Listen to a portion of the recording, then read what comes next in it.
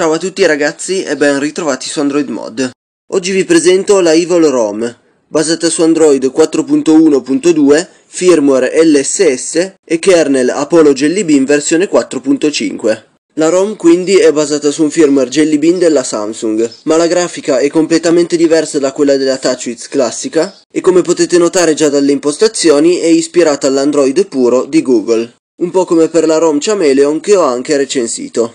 Dialer telefonico, icone di sistema, barra di stato e menu a tendina sono quindi totalmente diversi da quelli che siamo abituati a vedere sull'S2, ma le impostazioni, benché con un aspetto diverso, sono quelle di Samsung con qualche aggiunta. Infatti sono stati implementati, per quanto riguarda lo schermo, la possibilità di abilitare il multi-window, l'effetto CRT ovvero l'animazione di spegnimento del display, la possibilità di visualizzare la percentuale della batteria il Battery Status Bar Configuration, in cui possiamo scegliere lo stile che preferiamo, e il Toggles Configuration, che ci permetterà di scegliere e riordinare gli strumenti del menu a tendina. Altre impostazioni sono state aggiunte alla voce schermata di blocco, e ora avremo la possibilità di impostare la lock screen delle AOSP e abilitare la torcia. Ok, quando andremo a flashare la ROM partirà la Roma Installer, che per inciso è in spagnolo così come la recovery modificata che si installerà. Tuttavia non preoccupatevi perché, come avete visto, il resto è in italiano. La Roma Installer ci permetterà di scegliere tra tre diversi tipi di ROM, quindi quella stock con app più personalizzate e meno personalizzate, due temi stock e AOSP Blue, cinque versioni del kernel Apollo, due modem ovvero MS2 e LS8 e infine ci consentirà di cambiare i DPI. Il mio consiglio è quello di mettere la ROM stock con il tema AOSP Blue, Apollo Light, il modem MS2 e lasciare le dimensioni invariate.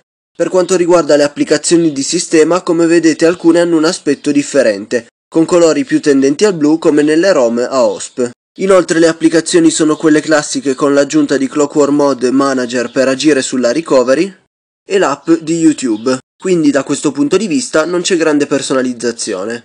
Andiamo quindi a vedere la fotocamera. Camera che ha uno stile particolare in quanto come vedete è a metà tra quello Samsung e quello AOSP. Sono presenti diversi effetti e modalità di scatto e quindi proviamo a effettuare una foto. Come vedete gli scatti sono abbastanza veloci e non danno problemi. Vediamo il risultato e anche la qualità delle immagini non è niente male.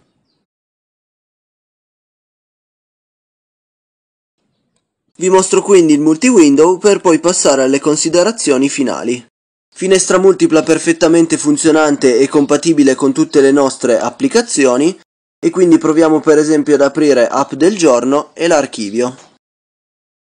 Come vedete potremo utilizzare tutte e due tranquillamente ridimensionare lo spazio dedicato a una piuttosto che all'altra, scambiarle di posto o metterne una a schermo intero.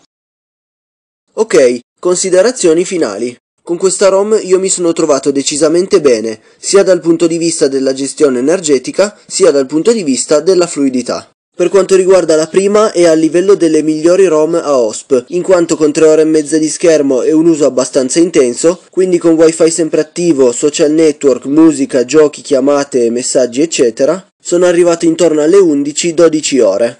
Anche per quanto riguarda la fluidità è veramente ottima in quanto non ho mai notato un impuntamento, le pagine scorrono e si caricano abbastanza velocemente, e quindi mi sento di dire che è una delle migliori Samsung Based che io abbia testato e vi consiglio di provarla.